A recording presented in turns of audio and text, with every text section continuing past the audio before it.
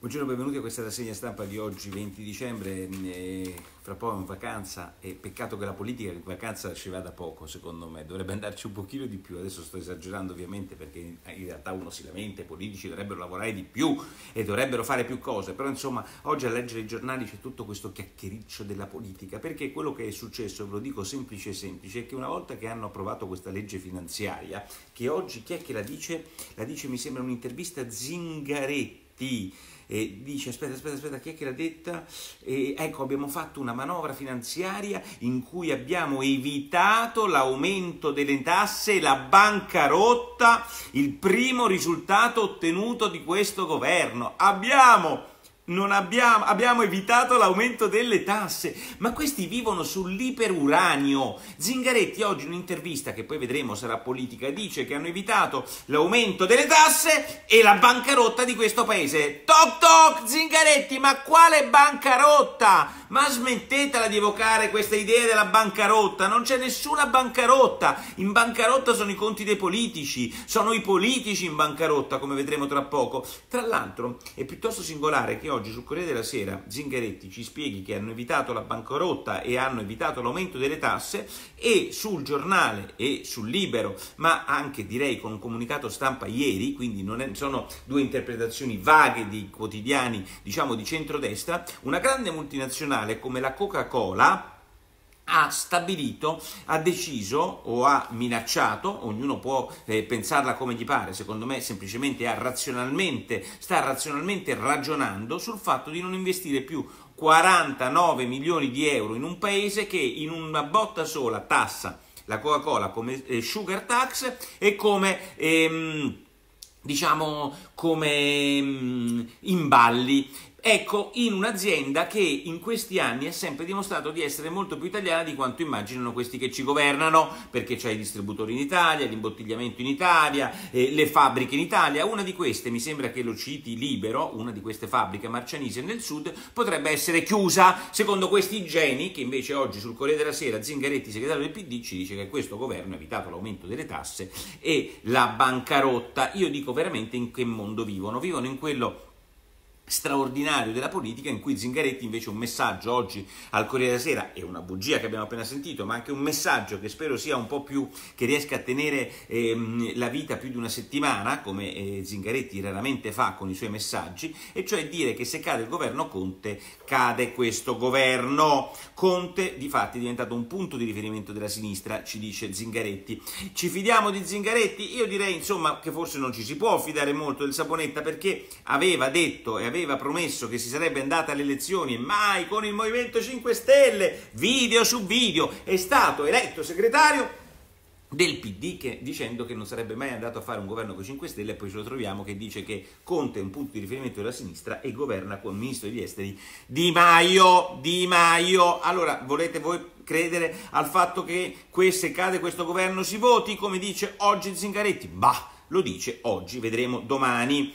Eh, Polito nel frattempo ci racconta che sono state fatte sei leggi elettorali in 30 anni, si fanno al solo scopo di favorire nelle successive elezioni i partiti che se le inventano in realtà aggiungiamo noi, non sempre gli va bene a questi partiti che si inventano le, ehm, queste, queste, le, queste, ehm, chiama, queste, leggi elettorali perché poi vengono anche fregati dalle stesse leggi elettorali. Nel frattempo Ezio Mauro su Repubblica ci spiega una cosa che non mi è del tutto chiara, cerchiamo di capirla insieme perché lui parte da una premessa, l'antipolitica ha... Ehm, diciamo, ha mangiato se stessa, nel senso che non so cosa voglia ben dire, ma comunque l'antipolitica ha prosciugato lo stagno cui, da cui lei è nata. E poi dice, e quindi eh, siamo arrivati alla fine dell'era populista.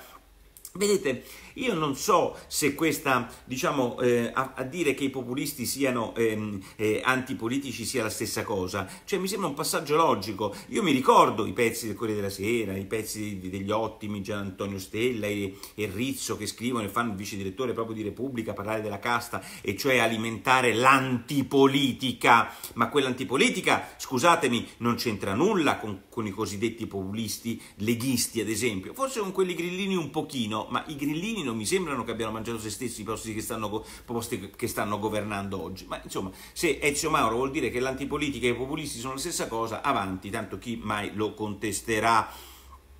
Intanto il secondo grande tema di giornata resta questa minchiata incredibile che noi mandiamo a processo probabilmente un ex ministro degli interni perché ha tenuto quattro giorni a largo eh, per sequestro di persone. Io le dico a tutte le persone anche intelligenti, ne ho visti tanti amici anche su internet che dicono ma come, ma di che ci scandalizziamo, e Salvini esagera, è un populista, in realtà dice ho difeso i confini nazionali, ma come? Su quella nave che è una nave in cui c'erano cento disperati, ma che hai diviso i confini? E poi quella nave era una nave militare, ma non fare l'eroe. Però a questi stessi che dicono a Salvini di non fare l'eroe e che quella è una nave militare, che vuoi che siano ehm, ehm, quattro giorni, beh io dico intanto va bene, lasciamo perdere che mh, il, il, principio generale, che uno può credere o non credere, cioè che in, in, rendendo eh, l'Italia un posto inospitale per i clandestini, probabilmente si evitano di far arrivare attraverso pull factor nuovi clandestini. Ma lasciamo perdere questo, ma tanti amici che criticano diciamo, il populismo verbale di Salvini attaccandolo e prendendolo in giro, ma vi sembra normale che il ministro degli interni italiani rischi 15 anni di carcere e solo lui per un atto, ovviamente condiviso dal governo soltanto un anno prima su un'altra nave, vi sembra normale? E vi sembra normale che si possa attribuire a Salvini sequestro di persone quando il popolo italiano con i suoi soldi e con l'autorizzazione del Ministero degli Interni ha portato viveri e ovviamente tutta l'assistenza sanitaria possibile in quelle navi? Vi sembra possibile che la procura ha chiesto di archiviare questa vicenda e il tribunale ha detto di no?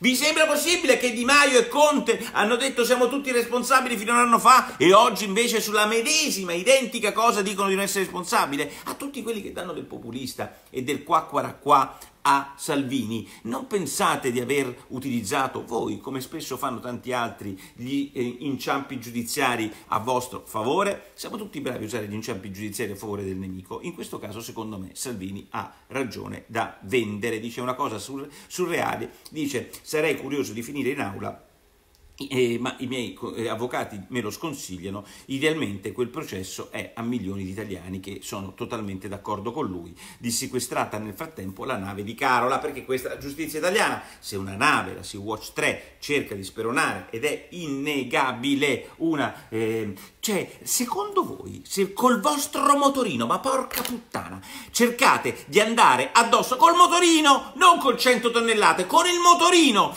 contro una pattuglia dei carabinieri, carabinieri, quel motorino, quanto cazzo di tempo ve lo tengono sequestrato? E voi, quanti processi subite per aver cercato di, di, essere, di investire con un motorino una pattuglia dei carabinieri? No, no, ma pensateci un attimo, toc toc! quanto tempo ve lo tengono in sequestro il motorino? La Sea-Watch no, la Sea-Watch no, anche perché ovviamente lì c'era Carola Rachete, la super applaudita dal Parlamento europeo, Di Maio o Micchio, dice un titolo molto duro del giornale sul fatto che ci sia ehm, questo processo. Intanto ci sono dubbi, secondo eh, i retroscena dei giornali, anche di Italia, Italia Viva, quella di eh, Renzi, nel dare l'ok all'autorizzazione a procedere che ci sarà il 20. Nel frattempo l'associazione della Carfagna, il grande movimento politico della Carfagna, perde un suo presidente onorario che è Antonio Martino, che io conosco molto bene, a cui voglio bene e quindi insomma sono ben felice che non si intruppi in cose che sono complicate da eh, raccontare a quelli che, eh, come Martino, oggi si occupano un po' meno di politica. Ma la cosa incredibile che io consiglierei forse dalle parti di Arcore, non quelle di Carfagna questa volta, uno dei primi eh, tesserati di Forza Italia, eh, quello che ha portato la flat tax in Italia, il programma economico in Italia, che ha fatto ultimamente il ministro degli esteri e il ministro della difesa, come Antonio Martino, converrebbe che quando alza il telefono, care segretarie onorevoli del mh, mm, Cavaliere Berlusconi d'Arcore, se il presidente presidente ehm, sta ad Arcore e Martino fa una telefonatina ad Arcore, conviene che glielo passate o conviene che glielo fate richiamare. Se no, Martino, ve lo perdete o ve lo siete già perse. Fenomeni di badanti del cavaliere Berlusconi, maschi, femmine, donne, non lo so, quelle che magari lo fanno parlare con qualche mafioso calabrese, ma un po' meno con i fondatori di Forza Italia, come è Martino.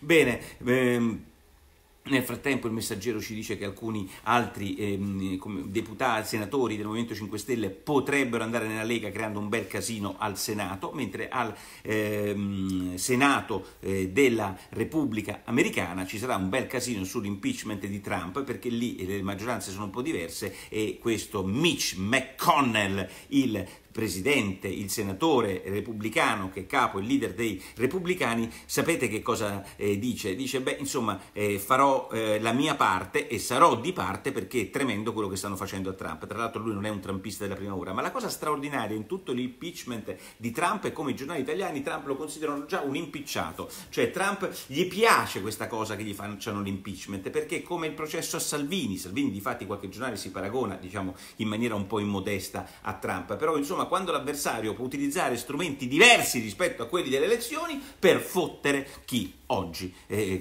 eh, ha preso la maggioranza degli italiani. Lo trovo fantastico. Eh, vi ricordate quella cosa di Sondrio, dell'ospedale di Sondrio, di cui io stesso ieri mi ero lamentato dicendo il razzismo, ha fatto bene la Meloni a rispondere, tutte quelle polemiche là? In realtà quell'aspetto di Sondrio, leggendo oggi Borgonovo, ma soprattutto già ieri mattina se ne era accorto benissimo sul mio sito, andatevelo a leggere, il pezzo che ha scritto Gervasoni sul sito nicolaporro.it, è tutta una montatura fatta da una sardina. Non c'è una donna nigeriana che è stata insultata in, una sala d'aspetto di un ospedale di Sondrio. È tutta una balla! Ma siccome quella balla la fanno le sardine, è una balla che ha grande seguito. Oggi se, eh, se, una, se una, ragazzina fa così, ma è di sinistra Salvini mentre dorme, tutti zitti e muti. Se ci si inventa una balla su una nigeriana che ha perso una bambina e che tutti la insultano, il che è totalmente falso, bene, quella roba lì sui giornali ieri ha una grande eco, oggi nessuna nel raccontare che è una falsità, tranne Borgonovo e vi racconto appunto, leggetevela questa bufala, Daniela e Susanna, leggetevela sul mio sito dove Gervasoni vi dice che è una grande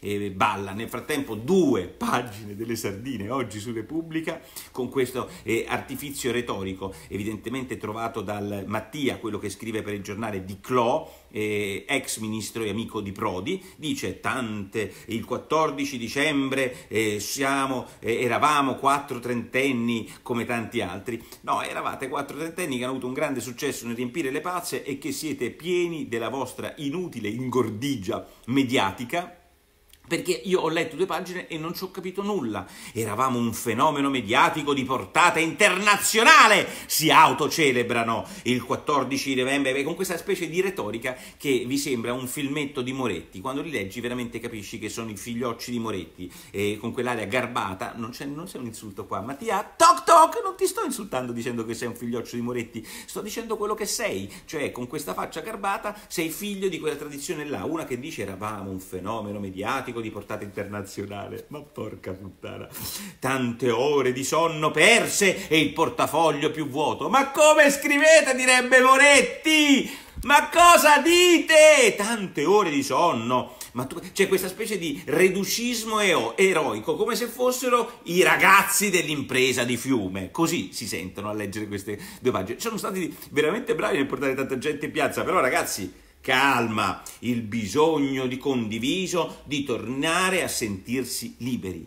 Ma ragazzi, il bisogno condiviso di sentire di tornare, a tornarsi liberi. No! Siete liberi già oggi! Potete andare in piazza già oggi! Potete dire qualsiasi cosa a Salvini già oggi! Potete issare sul palco una ragazza islamica col velo che è, che il cui marito dice che Israele è peggio dell'ISIS e tutti zitti e muti, quelli che vi, vi sono amici, con qualcuno che magari vi dice toc Hamas è una roba terroristica con cui flirta quel ragazzino, quel signore, no? Questo vi può dire Ricolfi oggi, straordinario, intervistato Italia Oggi, rimette un po' le cose a posto, perché basta leggere queste due pagine delle, delle sardine, lo capite bene, e perché rimette le cose a posto? Perché il popolo purtroppo non sta con loro, sta ancora con Lega e Salvini che sono i loro principali obiettivi di dileggio e non sta con loro proprio per il modo in cui scrivono, per quello che dicono, per, chi, per quella borghesia che loro rappresentano, che è una borghesia chiaramente e legittimamente non sovranista. Beh, altra cosa, c'è poco tempo perché abbiamo parlato troppo, ma quella di oggi è straordinaria. L'intervista a Nogarin, eh, ora vivo in povertà, è il titolo sul Fatto Quotidiano. 40.000 euro che gli dà il Ministero eh, di Inca eh, di consulenza e lui piagnucola sul fatto che vive di povertà Toc toc! Nogarin! Ma voi avete capito chi eravate? Cioè voi non siete come me. Io sono quello che si vorrebbe bere una boccia de Crystal. Voi siete i 5 Stelle! E se vive di povertà un 5 Stelle che si prende un contrattino e si candida a diventare presidente del porto di Gioia Tauro e che è stato, tra l'altro, by the way, secondo i vostri criteri, impresentabile perché indagato, è in, in, imputato per concorso in omicidio colposo, sono morte otto persone per l'alluvione, per me lei è un, ingen- un ingegnere innocente, ma è la vostra gogna che ha fatto sì che voi siate impresentabili se imputati, soprattutto per quella roba là. E oggi vi viene a dire sul fatto quotidiano, ora vivo in povertà, ma rispetto verso i vostri lettori, non verso i miei, verso i vostri lettori. Coca-Cola nel frattempo per rispetto nei confronti dei suoi azionisti dice che in questo paese se continuano a mettere tasse investirà molto di meno. Eh, accordo PD Movimento 5 Stelle, infine, perché la riforma della giustizia parta, il primo, riforma della giustizia, ma è che la prescrizione parta dal primo gennaio, nel frattempo le intercettazioni saranno più o meno vagliate, un accordone, io ti do un po' di intercettazioni e io ti do la prescrizione. Vantaggio per gli italiani? Zero. Svantaggio per gli imputati? 100.000 e per noi cittadini liberi in questa, come dice Pane Bianco, repubblica eh, giudiziaria sarà un passaggio lento e inevitabile inevitabili all'inferno del penale, per cui tutto si risolve con quel codice là. Beh, non hanno vergogna, dice qualcuno di voi. Io, non, Nicola, ricordati dell'Ocean Viking, rimase dieci giorni, dieci giorni in attesa di sbarcarsi durante giusto le elezioni, cioè quando aspettavano dieci giorni con la Morgese non è sequestro di persona, quando lo fanno con Salvini lo è perché lui dà un preciso ordine di non farlo, mentre lì gli ordini non sono precisi, ma evidentemente sono contrattati. Bene, eh, non investirai mai più la Coca-Cola, spero di no. Un abbraccio cristiana, troppo Beppe, apprezzo la tua obiettività e la tua coerenza ideologica, speriamo che sia così per tutti voi. Io vi do appuntamento sul mio sito nicolaporro.it e leggete la bufala di Sondrio col pezzo di Gervasoni, ma tante altre cose. Ciao!